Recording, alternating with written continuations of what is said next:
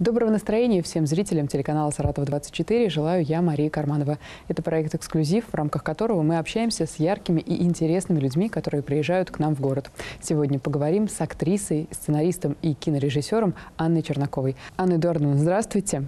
А, Анна Эдуардовна, вы сегодня в Саратове в рамках фестиваля «Киновертикаль», но еще и с презентацией своего фильма нового, который снят по вашей книге. Почему сказка? Хочу я вас спросить. Почему, чем такой жанр актуален и почему вы именно на нем решили остановиться? Вы знаете, это наша вторая картина, которая э, адресована э, зрителям, скажем так, моложе 16. Предыдущая называлась «Собачий рай», но она была чуть на старший возраст ориентирована. Там тоже были элементы сказки, но после этого как-то так случилась эта длинная история, что мы э, начав писать синопсис для фильма, в результате обнаружили себя пишущими книжку, сказку, повесть, повесть для семейного чтения вслух, с действительно очень большим количеством сказочных элементов, э, но при этом повесть была основана на каких-то событиях э, нашей отечественной истории, которые мы сознательно, немножко вольно интерпретировали, но очень уважительно и с желанием, самое главное, чтобы наши читатели захотели узнать, как было на самом деле. Ну вот родилась такая книжка, которая называлась «Хрустальный ключ». Э, и после этого мы получили финансирование Министерства культуры на экранизацию этой книжки. Но, как это часто бывает, когда экранизируешь э, произведение литературы, оно меняется, потому что другой язык. А тем более мы экранизировали собственное произведение, мы, наверное, были более вольны и менее уважительны к тексту, чем мы были бы с какими-то... В результате два разных произведения Два разных как я получили совсем произведения, э, вплоть до того, что герои в книжке – это мальчики, герои в э, в фильме главная героиня шестилетняя девочка, и там другое литературное произведение вот э, как-то на нас очень повлияло, и мы его использовали. Это «Голубая чашка Гайдара». Замечательный рассказ детский. Но сохранились, э, сохранилась канва путешествий, приключений, сохранился, самое главное, сохранился злодей.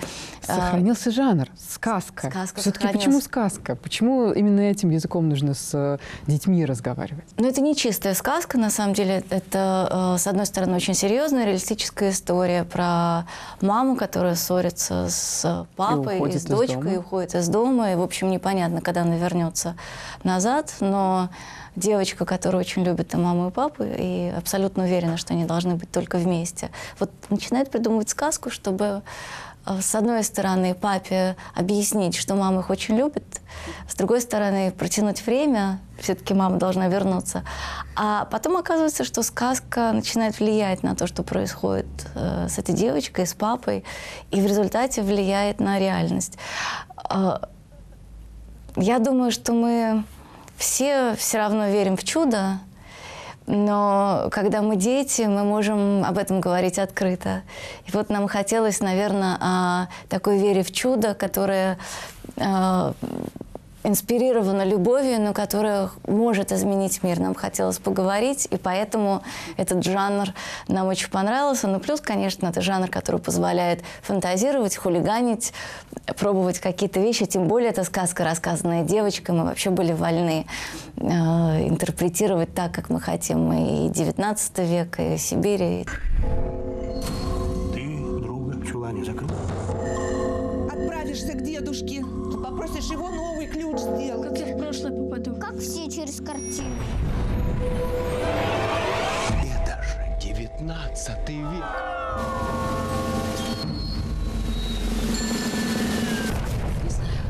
Сказка, что не сказка. Вот убьемся. Никакая это не сказка, это все на самом деле было. Анна, насколько сейчас сказка востребованный жанр?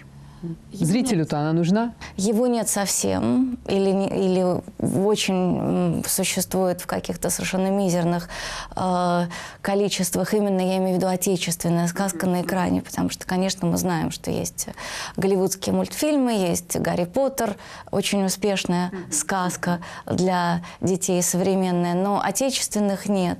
И я думаю, что это очень плохо, потому что абсолютно необходимо для воспитания души ребенка э, представлять себя в сказке, сопереживать сказочным героям и э, эти приключения, э, ну, представлять себя на месте их и, и эти приключения переживать.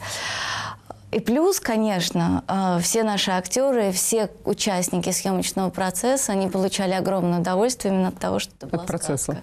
Да, у нас даже актриса Алена Бабенко, когда она узнала, что вот мы запускаемся, она попросила написать ей какую-то, какого-то сказочного персонажа, но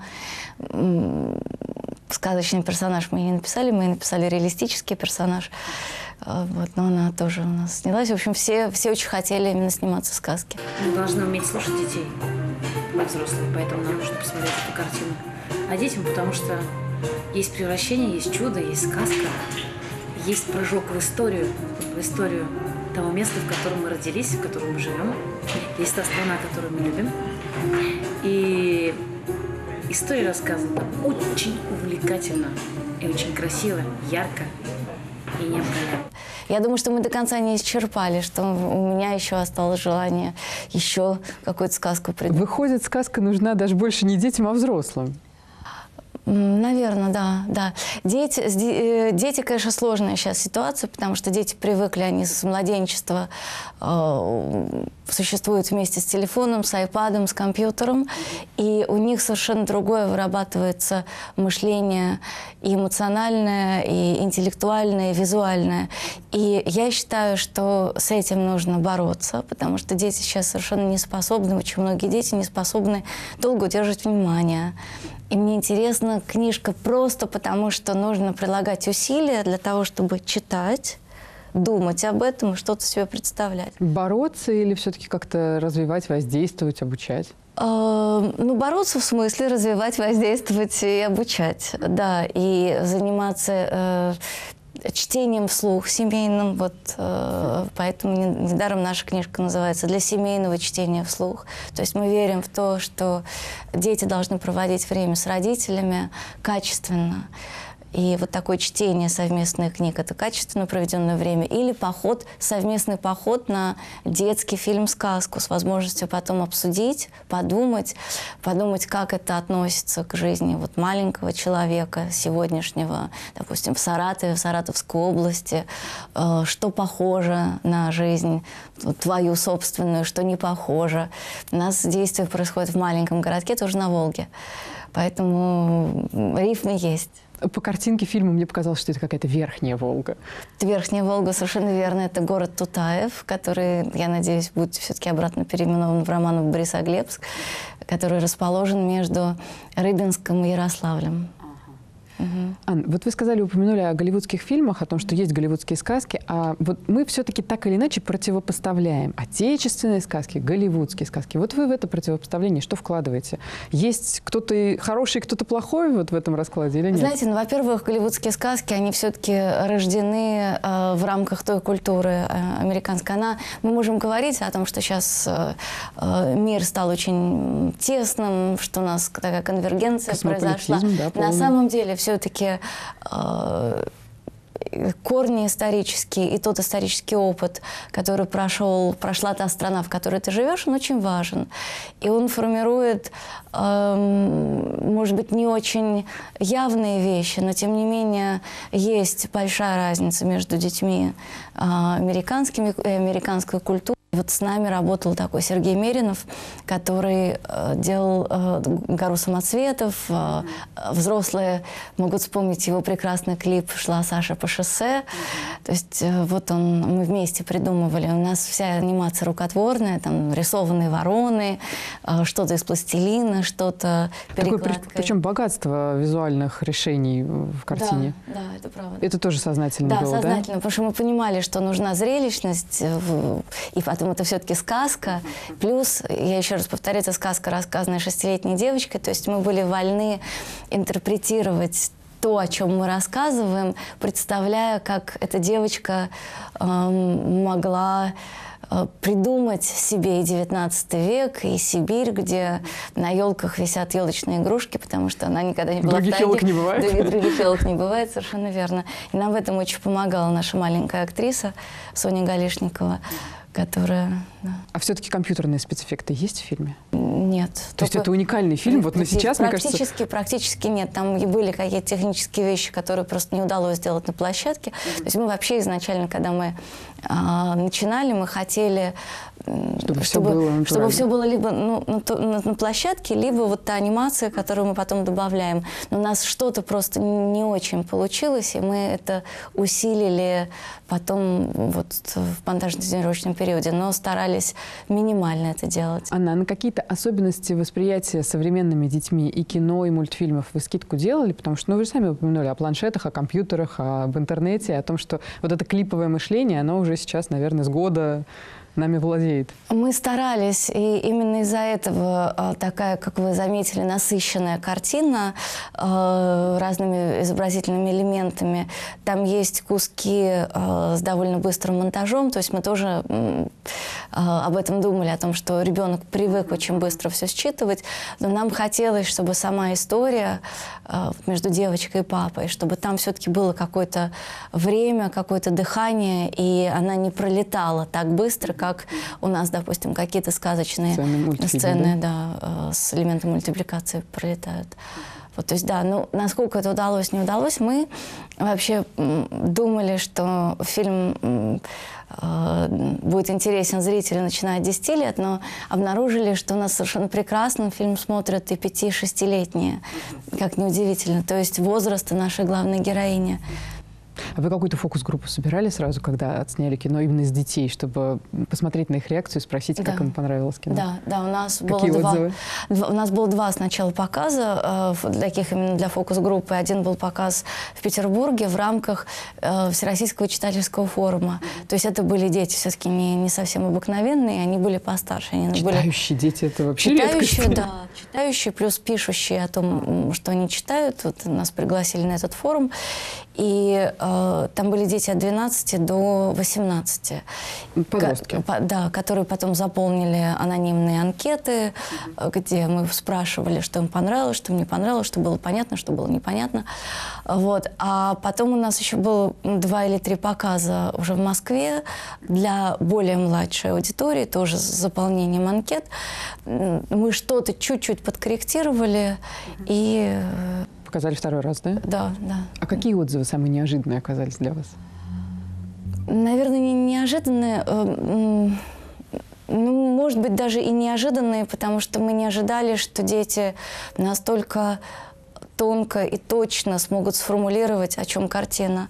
Там Один мальчик написал, что он обязательно хочет повести на этот фильм своих родителей, потому что они находятся на грани развода. И он хочет, чтобы родители поняли, что э, то есть, что это противоестественное состояние для ребенка, когда родители ссорятся. Ну, наверное, такой отзыв вообще стоит всей работы. Да, да. Один такой И, отзыв. кстати, вчера вот в- э, после показа в Саратове тоже несколько человек сказали, что это фильм о том, что родители не должны ссориться никогда. Вот. Это очень Уже эта важно. мысль стоит того, чтобы снимать кино. Понравился фильм? Да. Очень. Понравился фильм?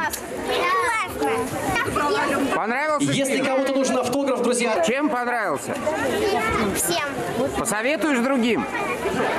В общем, хорошее российское кино. Э, вы сегодня здесь еще в рамках э, кинофестиваля. Это фестиваль для детей, для подростков. А насколько вообще э, вы стараетесь у детей учиться? Потому что вот вы нацелены так все-таки на детскую аудиторию. Наверное же нужно еще от нее что-то получить, чтобы потом отдать. Конечно. И в этом смысле для меня был такой замечательный опыт общения с нашей главной э, героиней. Вот я уже упоминала. актрисой. Да, шестилетняя актриса Софья Галишникова из Петербурга. Это был ее дебют. Но это совершенно удивительная девочка. Она, она из актерской семьи, но эта девочка э, с очень э, сильной уже сложившейся индивидуальностью. Она очень интересный человек, очень глубокий. И хотя не все было гладко, потому что это все-таки ребенок, конечно, она уставала и э, иногда... эм, Капризничала? Она, не капризничала, она просто уставала, иногда ей очень не хотелось что-то делать. И надо было найти способ э, во-первых, с- чтобы она отдохнула, это было тоже непросто, потому что мы перепробовали все, там и, и еду, и поспать, и уйти с площадки. Он выяснилось, что лучший отдых – это с ней побегать. Что надо было выйти на улицу и несколько кругов с ней пробежать. Чем больше, тем лучше. Я не всегда выдерживала, подключались другие члены съемочной группы. После этого она приходила абсолютно свежей на площадку.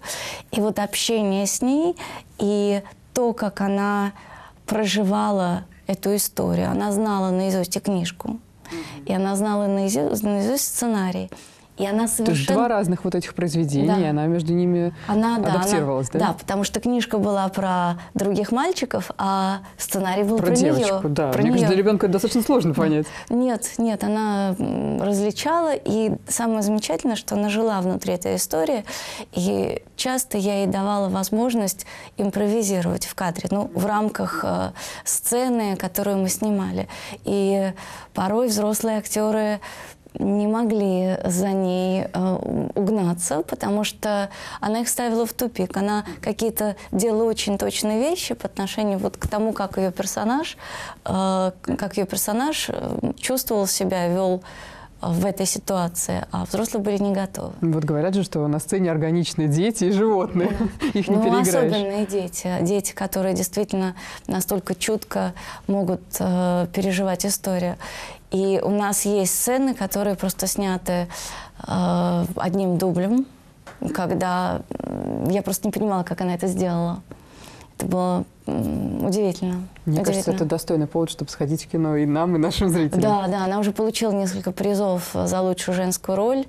И мне очень интересно, э, что с ней будет э, Как дальше. судьба сложится, да? Да, я очень хочу, вот, э, дай бог, э, в следующей картине, если все получится, хочу найти возможность с ней тоже поработать, потому что она, она меняется, она становится другой. Ей сейчас уже, она снималась, ей было 6 лет, сейчас ей 8, почти 9, и это уже совсем другой человек, и мне тоже очень интересный. Анна Эдуардовна, вы дали отличный совет э, нашей аудитории, что с детьми, семейной аудиторией, нужно читать. Вот посоветуйте несколько книг, которые с детьми нужно обязательно почитать. Ну, кроме вашей сказки. Но я считаю, что нужно обязательно читать э, отечественную классику для детей, начиная от Аркадия Петровича Гайдара и заканчивая Алексиным. Алексин, Крапивин, то есть те писатели, которых э, ну, я читала в детстве, Ну да. и которые до сих пор, мне кажется, совершенно замечательными. Есть еще замечательный писатель Железняков, который по мотивам повести, который создан фильм «Чучело», но кроме «Чучела» у него есть э, другие э, рассказы и повести.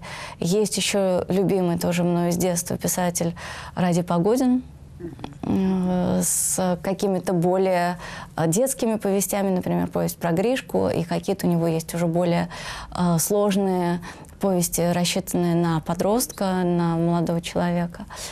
Вот.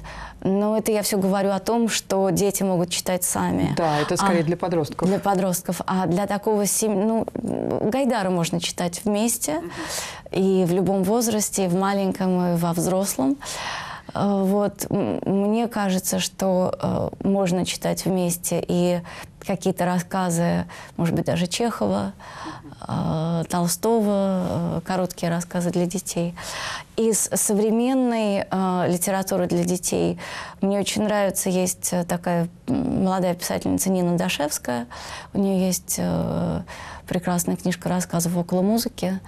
Э, тоже дети могут читать, ну, ну, те, которые умеют читать. А для маленьких, ну вот я э, очень еще раз советую читать, читать вместе вслух нашу книжку, читать сказки. Хорошо. Спасибо Читать большое. рассказы еще Дениса, э, Денискины рассказы Драгунского Драгунского. Да. Спасибо вам большое за советы, спасибо за интересную беседу. Очень приятно было пообщаться с вами, и я думаю, что теперь все с большим удовольствием пойдут в кино посмотреть вашу картину. Да, учитывая, что она выходит после фестиваля, выходит э, во многих э, районах э, Саратовской области, и мы надеемся, что действительно люди пойдут и посмотрят. Спасибо большое. Спасибо вам. И на этом на сегодня все. Еще больше интервью смотрите на нашем сайте saratov24.tv. Я Мария Карманова. С вами прощаюсь. До новых встреч.